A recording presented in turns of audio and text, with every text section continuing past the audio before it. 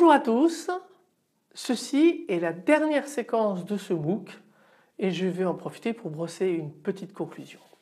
C'est terminé, vous avez passé en notre compagnie six semaines que nous espérons riches en apprentissage et vous devriez maîtriser les bases de la concurrence et en éviter les pièges. Vous devriez être capable d'implémenter des programmes concurrents en Java puisque c'est le langage qui a servi de support à ce cours.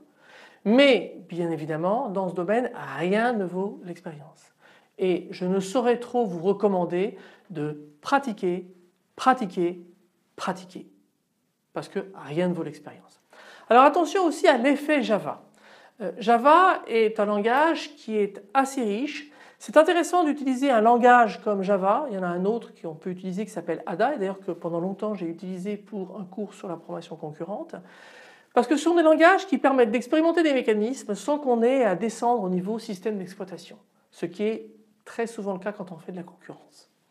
Donc vous avez l'avantage, mais vous avez aussi les inconvénients. C'est-à-dire qu'en fait, euh, vous avez les biais qui sont introduits par le langage Java, par sa façon de voir la concurrence, mais que vous utilisiez des bibliothèques de programmation, euh, Message Passing Interface euh, par exemple, POSIX, ou que vous descendiez carrément au niveau du système d'exploitation, ce genre de biais est inévitable.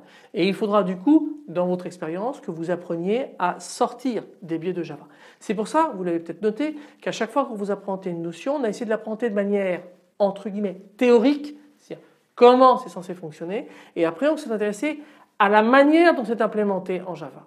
Voilà. Donc il ne faut pas que vous oubliez cette définition théorique des objets, parce que même si l'implémentation diffère, elle part toujours de là.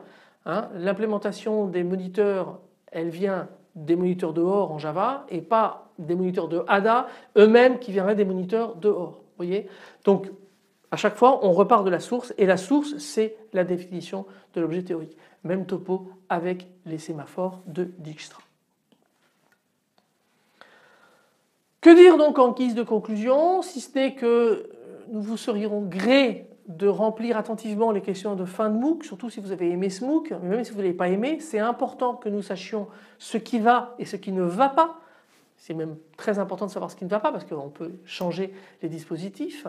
Euh, il n'est utilisé qu'à usage interne dans le cadre de ce cours. L'information n'est pas nominative, elle est entre guillemets statistique qui intéresse, c'est le public intéressé. On va comparer le public sortant au public rentrant et on va voir, ben, on voit que c'est bien taillé pour, qu'est-ce qu'on peut faire pour améliorer les choses? Si vous avez abandonné ce book, ce serait intéressant qu'on sache pourquoi. Peut-être que vous ne regarderez pas cette vidéo, mais bon, c'est quand même intéressant.